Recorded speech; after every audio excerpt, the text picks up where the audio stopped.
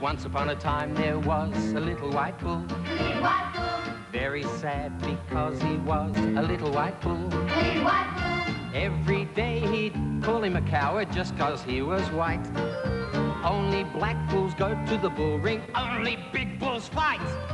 When he asked his mama if the little white bull Little white bull. ever had a chance of turning black, his mama said, you silly little bull, you're a pretty little bull, you're my little bull, so please don't ask me why, little bull, you just ain't black. But this did not satisfy the little white bull, Little white bull. cause he was an exception to that little white rule. Little white bull. Every day alone in the meadow, he'd find things to charge. Till one day he really imagined that his horns were. Boulders brass right there and then the little white bull Little white bull. quickly found the way into town. And you know what? All the people said, you're a funny little bull. What a fluffy little bull. He's our little bull. He marched right along, a proud little bull. And he hit town.